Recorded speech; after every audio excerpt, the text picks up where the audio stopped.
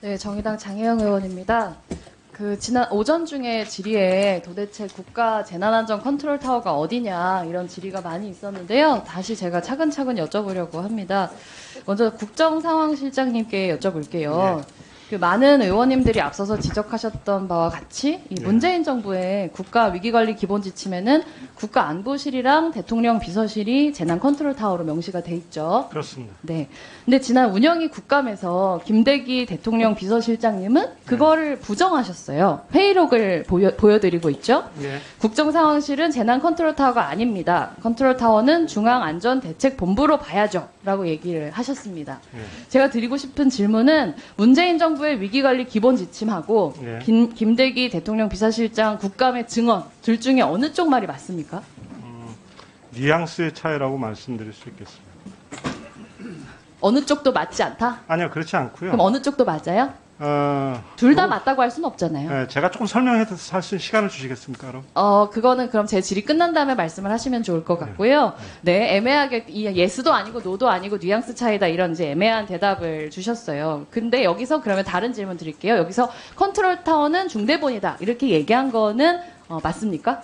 아, 그거는 이것도 컨- 뉘앙스 차입니까? 아닙니다. 그러니까 컨트롤 타워라는 게 사실 법적인 네, 개념이 컨트롤 정의되는 타워의 문화는 정의에 대해서 여기서 샤- 상황 실장님하고 논의하자는 게 아니에요. 이거는 이제 운영위에서의 국감에서의 증언이기 때문에 예. 이 자체로 명백하게 끝나 그러면 제가 있는데. 예, 그러면 제가 그, 그 문재인 정부에서 그- 아니요, 다른 얘기를 하지 마시고요. 네. 이게 이것조차 그럼 대답을 명확하게 얘기하지 않으시고 다른 설명을 대, 대시고 싶으신 거니까 이 부분은 넘어갈게요. 국정상황실장님은 저- 질문하는 건 접니다. 애매하게 대답하셨고 김대기 비서실장님은 명확하게 대한민국 재난 컨트롤 타워는 중앙안전대책본부다 이렇게 얘기를 하셨으니까 이 대답을 따라가서 질문을 계속하겠습니다. 행안부 장관님께 여쭤볼게요. 김대기 비서실장님이 중대본은 컨트롤 타워다라고 하셨는데 재난안전 컨트롤 타워 중대본이 맞습니까? 네, 저는 그렇게 생각하고 있습니다. 네, 알겠습니다. 그 지난 현장 조사에서 장관께서는 자연 재난이 아니라 이런 이태원 참사 같은 경우에는 중대본 설치가 총각을 다투는 문제가 아니다 이렇게 말씀을 하셨어요. 그리고 중대본 구성보다 긴급 구조 통제 단장인 용산 소방서장이 현장 지휘하고 응급 조치하는 게 더 중요하다 이렇게도 말씀을 하셨고요. 그리고 오늘은 심지어 빨리 중대본을 설치하는 게 현장에 있는 이들을 회의에 나오게 해서 구조에 방해가 된다 이렇게까지도 말씀을 하셨어요. 그리고 그렇게 말씀하신 이유는 재난에서 중요한 게 구조고 구조의 책임은 중대본이 있는 게 아니라 현장에 소방에 있기 때문이다. 이게 맞습니까? 그 제가 이해하게 책임이 맞습니까? 누구한테 꼭 있다기보다 제일 중요한 게 네, 지금 구조이기 때문에. 그렇습니다. 네, 알겠습니다. 그러면 구조. 구조의 책임은 소방에 있다라고 네. 보시는 거고요. 네. 알겠습니다. 그러면 소방청장님께 직무대리님께 질문을 드릴게요. 네네. 중대본 본부장이신 행안부 장관께서 12구 이태원 참사의 경우는 중대본보다 긴급 구조 통제 단장인 용산 소방서장의 역할이 더 중요하다. 이렇게 말씀하신 거 들으셨죠? 방금 전에. 못 네. 들으셨나요? 네, 들으셨죠? 근데 경찰 특수본에 따르면요. 용산서 최성범 서장이 현장에 도착하고 30여 분간 아무런 조치를 하지 않았다고 해요. 현장에 이 긴급 구조 통제 단장이었던 소방이 제 역할을 다 했더라면 구조의 역할을 이태원 참사의 피해 훨씬 최소화할 수 있지 않았겠습니까? 아닙니까? 소방이 구조의 책임을 갖고 있는 소방이 제 역할을 다 했다면 참사의 규모를 줄일 수 있지 않았겠습니까? 대답해 주세요. 아니에요? 긴급 구조 기관은 저희들이 맞습니다.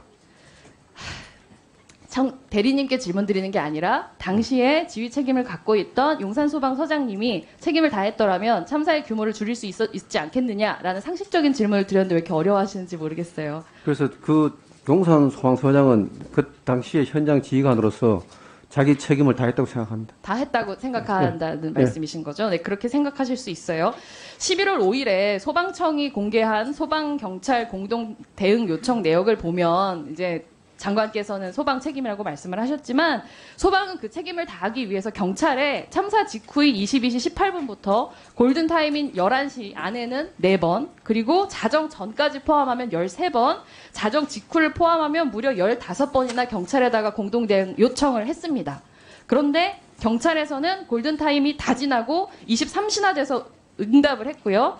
23시 40분 내지는 거의 자정이 다 되도록 제대로 된 공동 대응을 하지 못했어요. 넘겨주세요. 화면 넘겨주세요. 네.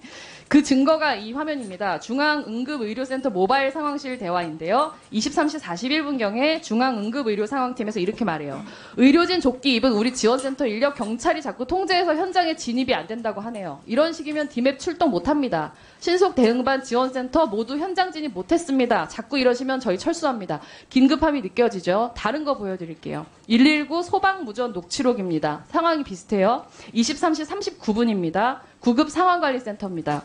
용산 구급구조 출동 차량 지금 의료진이 들어가려고 하는데 경찰이 막는다고 해요. 특수구조대도 그렇습니다. 구급차 빨리빨리 보내고 회전시켜달라고. 갇혀서 아무것도 할 수가 없다. 용산 서장님, 최성범 소장님이겠죠? 해밀턴 호텔 앞에 누워있는 환자 너무 많은데 구급차가 빠지질 못하고 있으니까 빨리 경찰 추가 비발, 비발을 요청을 했습니다. 자정이 다 되도록 이렇게 소방이 애쓰는데 경찰의 공동 대응이 제대로 이루어지지 않았죠. 그렇죠? 그렇지 않습니까, 직무 대리님? 그런 내용이 지금 적혀 있잖아요. 이거 내- 대응이 잘 된 내용입니까? 대응이 잘 안 됐다고 얘기하는 내용이죠. 예, 뭐 제가 그 당시에 현장에 있지 않아서 네, 예, 현장이 예, 아니라 예, 예. 이 내용을 미루어 짐작할 때 제대로 대응이 안 되고 있어서 계속 추가 대응을 요청하고 있는 거 아닙니까? 예, 그 내용상으로 그렇습니다. 네, 그렇습니다. 경찰청장님께 여쭤볼게요. 지금 제가 보여드린 두 개의 녹취록이 있잖아요. 이거 보시면 소방에 대해서 소방이 보내온 경찰에 대한 공동 대응 요청 제대로 대응됐다고 생각하십니까? 일단 녹취록을 보면은 의원님 지적하시는 부분 일리 있습니다. 근데 네, 다만 알겠습니다. 이런 내용이 지금 특수본 수사 진행 중인 사안이니까 네, 조만간 알겠습니다. 결과가 나올 하지만 겁니다. 저희 여기는 네. 특수본 수사 자리가 아니라 네, 국정조사 자리니까요. 그 말씀은 필요가 없었다고 생각합니다. 그런데 사실 경찰도 소방의 공동 대응을 요청을 했습니다. 112 신고 받고 참사 일어나기 전에 참사 당일 저녁에 20시 33분, 21시 00분 두 번. 근데 공동 대응 요청 못 받았죠. 저희가 한 걸 말씀하시는 네, 맞아요. 거잖아요. 네, 네, 못 맞습니다. 받았- 네, 네. 만약에 공동 대응 요청 받았더라면 참사 사실을 막을 수 있었겠죠. 결과적으로 좀 아쉬운 부분입니다. 네. 제가 지금 지적하고 싶은 것이 뭐냐면요. 지금 이렇게 보신 것처럼 재난 대응과 관리에 책임이 있는 모든 기관들이 다 서로에게 책임을 떠넘기고 있는 이 상태 자체가 대한민국의 재난 대응 컨트롤 타워가 없다는 내용을 지금 보여주고 있는 거라고 저는 생각을 합니다. 문서가 있으면 뭐예요? 매뉴얼이 있으면 뭐합니까? 그 매뉴얼대로 내가, 책임, 내가 책임지겠다, 내 잘못이다, 이렇게 나서는 공무원 한 사람이 없으면 매뉴얼이 다 무슨 책임이고, 그 기술이 다 무슨 상관입니까? 이게 바로 대한민국 재난 컨트롤 타워가 없다고 하는 우리의 현실입니다. 이따 이어서 질의하겠습니다.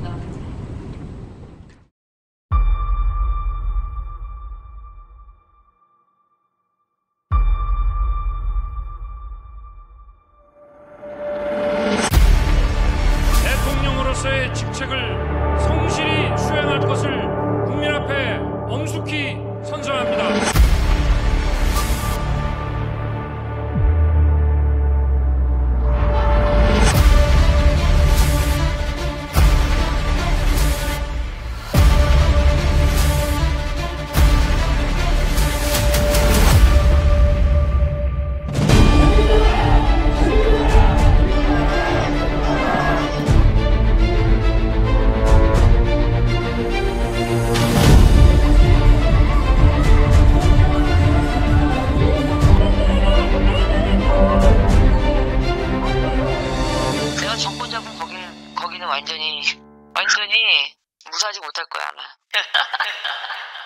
주가 조작 의혹 김건희 구속과 무능하고 무치한 대통령 윤석열 퇴진을 위한 첫 번째 프로젝트 퍼스트 레이디 윤석열과 김건희 중 누가 진짜 대통령인가 샤머니즘 정치검찰 비선실세로 빚어진 10.29 이태원 참사는 각자 도생 무정부 상태인 대한민국의 참혹한 민낯입니다 전 국민이 알게 하고 응징하게 하라. 정치 공작으로 중단된 심층 취재를 재개하라. 다큐 제작 자체가 곧 기밀을 요하는 심층 취재 과정이기에 제작진도 출연진도 취재 기자도 공개할 수 없습니다. 김건희 7시간의 충격을 뛰어넘을 퍼스트 레이디는 곧 김건희 윤석열 최후의 기록이 될 것입니다. 본 다큐 영화는 reward funding으로 제작됩니다. 3만원 후원 회원은 시사회 티켓 2장, 5만원 후원 회원은 시사회 티켓 2장과 영화 제작 포토 에세이 집을 추가로 드립니다. 서울의 소리 유튜브 구독 회원에 한해 서울의 소리 유튜브와 서울의 소리 공식 홈페이지에서 다큐 제작 후원에 참여하실 수 있습니다. 서울의 소리 구독 회원 여러분이 대한민국 민주주의와 한반도 평화를 사수할 역사적 다큐멘터리의 주인공이 되어 주십시오.